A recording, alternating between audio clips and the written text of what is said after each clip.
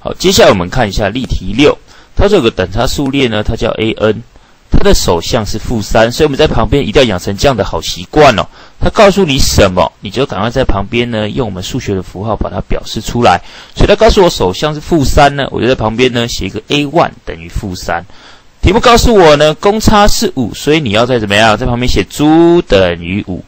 它我们求什么？这个数列的一般项跟第十五项。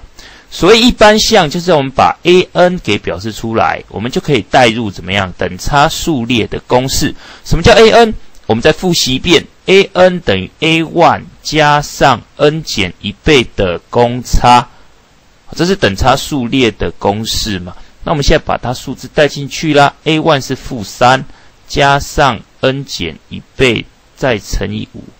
这个就是我的一般项，当然你可以把它怎么样，把后面这个乘开稍微化简一下哦，所以是五 n 好减八，你也可以这样写哦，都可以。这个是一般项。再来呢，第十五项，什么是十五项？就是 n 用十五把它代入，我们代入这个公式好了，我们代入这一个式子。第十五项，我们就把 n 用十五去取代，所以呢变成负三加上十五减一。乘以五倍，负三加上十五减一是十四了哈，十四去乘以五的话是七十，所以负三加上七十呢是六十七，这个是例题六。